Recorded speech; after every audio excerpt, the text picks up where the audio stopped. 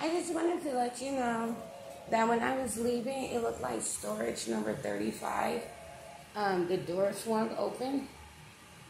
I'm sorry. The door- you can call it- Say it again. The door of storage number 35 on the inside, the door swung open. And it, yeah, it locks from the inside, so it like kind of startled me or whatever. Okay, I'll check it. Somebody must have vacated. Okay, Thank you. you're welcome.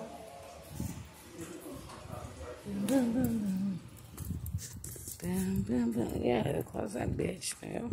Bye. And Judge Rosario's guilty. Alright, now we're free. Leaving. Uh, okay, so I got all the clothes sorted to one side and then all the other little bins and shit sorted to the other side. So I'm not 100% satisfied because I feel like if he would have given me my three hours today, I would have got everything fucking done. Like, even with, because that's, right, 30 minutes of that bitter. And that's how bitter it is in there.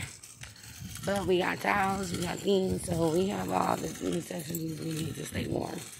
So we're to keep, you know, I did say he offered that top apartment. Also did say he's that ignorant to your contract being employed.